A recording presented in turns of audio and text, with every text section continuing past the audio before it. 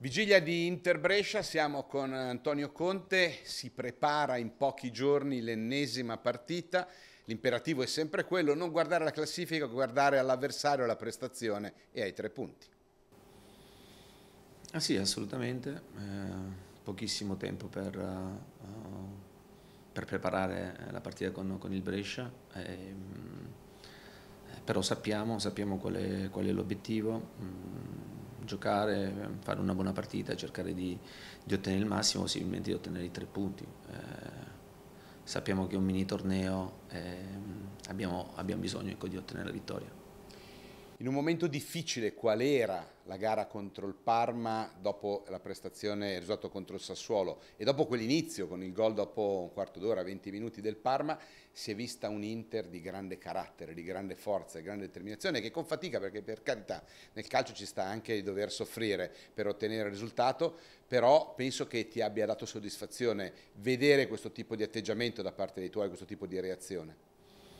Sicuramente mh, il, a subire il pareggio in casa contro il Sassuolo al, al novantesimo uh, poteva essere una mazzata no? da un punto di vista psicologico. Eh, abbiamo giocato contro una squadra che era in ottima salute come il Parma, eh, sono soddisfatto, sono soddisfatto della, della prestazione soprattutto del secondo tempo, della reazione che hanno avuto i, i ragazzi. Abbiamo preso sicuramente un gol evitabilissimo, eh, però al tempo stesso siamo stati bravi a, a, a, mantenerci in piedi, a stare sul ring e poi alla fine eh, vincere la partita ottenere tre punti importantissimi contro una squadra che secondo me ha anche dei buoni valori. Ecco.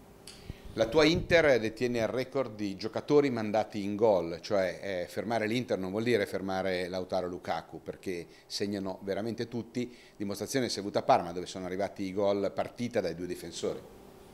Sì, assolutamente, ci sono tantissime cose positive, uh, bisogna sempre vedere chi uh, vuole vedere il bicchiere mezzo pieno o chi vuole vedere il bicchiere mezzo, mezzo vuoto, in questo periodo penso che tutti quanti abbiano interesse a vedere sempre il bicchiere mezzo vuoto e a, e a creare problemi al, al, all'Inter. Um, di sicuro noi dobbiamo proseguire per la nostra strada, lavorare, cercare di migliorare, eh, sapendo che gli altri comunque hanno grande rispetto nei nostri confronti. È un caso o no, secondo te, che tante partite in questo periodo si decidano con delle rimonte, con dei gol proprio nei minuti finali? È successo veramente in tante gare, pur avendo giocato poche giornate. Giocando in maniera ah, così ravvicinata, eh, soprattutto a queste temperature, è inevitabile che eh, le energie eh, iniziano mm, a, scarseggiare, soprattutto nella parte finale poi della, della gara. Eh, è molto importante ehm, i cambi, eh, chi entra dalla, dalla panchina, perché con, con la possibilità di avere cinque sostituzioni eh, c'è la possibilità di portare nuova energia, energia fresca durante la partita, chiaramente ridare eh, di nuovo vigore eh, e vitalità magari alla, alla, alla manovra. E, ehm, più, avanti, più, avanti, andremo, secondo me, eh, ne vedremo, ne vedremo fino, fino, alla fine, sicuramente ci saranno situazioni uh, che si possono ribaltare, situazioni da ribaltare. Ecco. Eh, Stellini era molto contento a fine parità, ha detto, mister, missione compiuta, io tre punti l'ho portati a casa. sì. sì, per Cristian diciamo che è stato un, un, un ottimo esordio, un ottimo battesimo. Uh, sono molto contento dello staff, di quello, del lavoro che, che fanno, del rapporto che hanno creato con, con, i calciatori, quindi da questo punto di vista ero molto, ero molto tranquillo. Che Brescia ti aspetti? Mi aspetto un, un Brescia che viene, viene, a San Siro per fare il risultato, anche perché il Brescia è, è inevitabile che essendo oh, oh, ultimo in classifica ha bisogno di giocare ogni partita per cercare dei, dei punti, quindi ha bisogno di punti, cercare dei punti su ogni, su ogni campo. Quindi bisogna fare grande attenzione, al tempo stesso noi abbiamo, abbiamo voglia di fare punti, siamo assettati di punti e, e abbiamo voglia anche noi di vincere.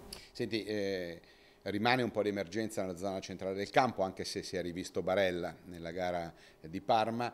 Hai sfruttato molto la rotazione, li tieni tutti in pista praticamente perché abbiamo visto giocare dal primo minuto Godine ed Ambrosio che mancavano in campo dal primo minuto da parecchio tempo, la rotazione dei difensori, la rotazione sugli esterni, molto durante la partita, solo a centrocampo sei un po' condizionato in questo momento nel dover fare le tue scelte, ma dalle assenze. Sì, non dimentichiamo che contro il Parma mancava anche Skriniar che ha preso comunque tre giornate di, uh, di, di, di squalifica. E, è inevitabile che giocando ogni tre giorni, ogni tre, quattro giorni hai bisogno di fare delle rotazioni, ma, ma proprio per, uh, per necessità. Uh, hai bisogno anche a volte, se ci sono situazioni 50-50 da un punto di vista di rischio di infortunio, di non rischiare, perché sai che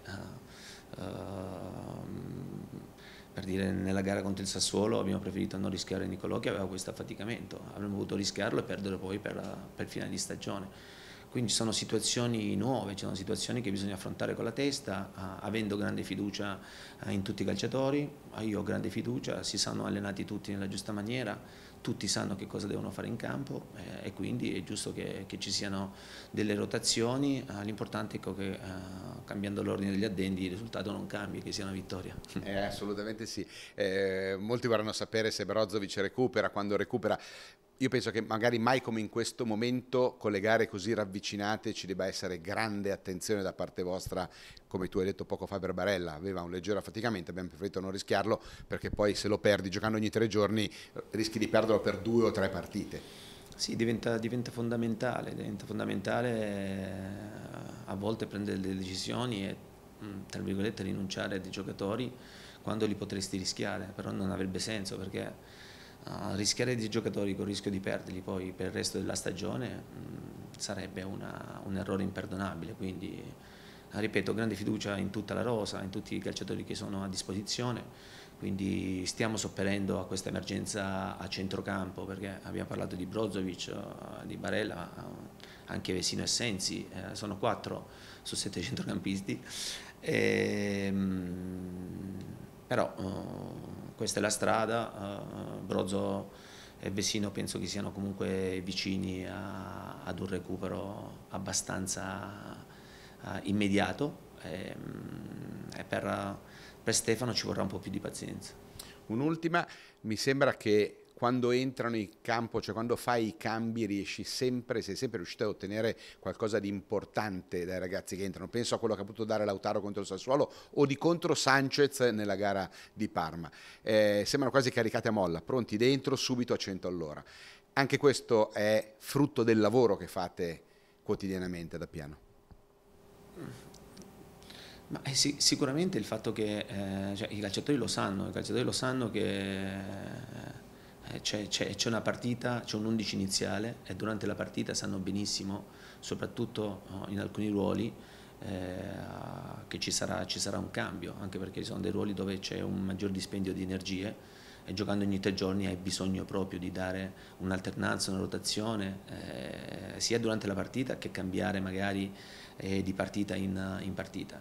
Chi entra da sempre il massimo, così come, come chi inizia la partita, eh, a volte si è determinanti, eh, altre volte un po' meno, io mi auguro ecco, che da qui alla fine Uh, sia l'11 iniziale che chi entra uh, dalla panchina sappia dare sempre il 100%. Buona partita mister. Grazie.